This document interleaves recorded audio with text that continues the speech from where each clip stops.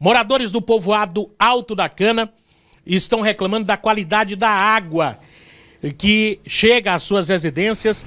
Essa água é de um poço artesiano da comunidade. Eles dizem que a água não tem qualidade para consumo e a situação é muito complicada. Olha a cor dessa água aí, ó. Olha a cor dessa água aí. Pode, tem, tem áudio, Elton Antônio? Adrian Cortez.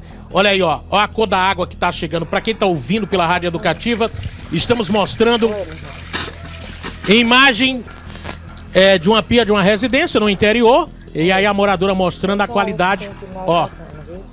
Aí se bota numa vazia, fica aquela nata de óleo. Olha. Uma nata de óleo direto na água, quando a gente botar pra parar, não tem? E aqui, como é que se lava a louça? Lava a roupa. Pois é.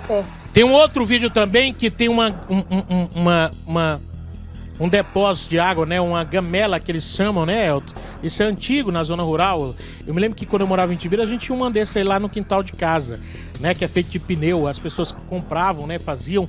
Olha a qualidade dessa água que chega aí, ó. Não dá para consumir de maneira nenhuma.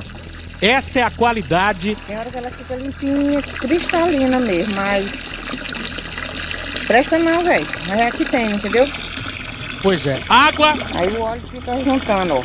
Foi, é, é, tem, é, ela tá dizendo que tem óleo na água, né? Capa rosa. Isso aí a gente chama de capa rosa, né? É capa rosa que a gente chama. Isso aí não dá para consumir essa água. A água, primeiramente, que se não tivesse a capa rosa na água, já não dava para consumir porque a água tá muito suja. Quem que a gente pede a colaboração aí? Da Caima. É a Caima que é dona, é, que é responsável por esse poço? É a prefeitura que é responsável por esse poço? A, as autoridades do município, o vereador, né? Pode lutar para resolver essa situação lá do povoado Alto da Cana. Essa reclamação é em prol de todos os moradores que estão sofrendo com a qualidade da água que está nessa situação aí. Então a gente pede para a prefeitura, ou para Caíma, porque até agora eu não tenho essa informação se esse poço lá da comunidade é de responsabilidade da comunidade, se é de responsabilidade da Caíma ou da prefeitura. Mas o certo é que as partes têm que resolver o que não pode é os moradores estar consumindo uma água de péssima qualidade, que é essa água que está chegando na casa dos moradores aí. Tem que ser resolvido. Isso aqui não é questão política, é de utilidade pública. Lá é todo mundo está sofrendo, tem que resolver isso aí.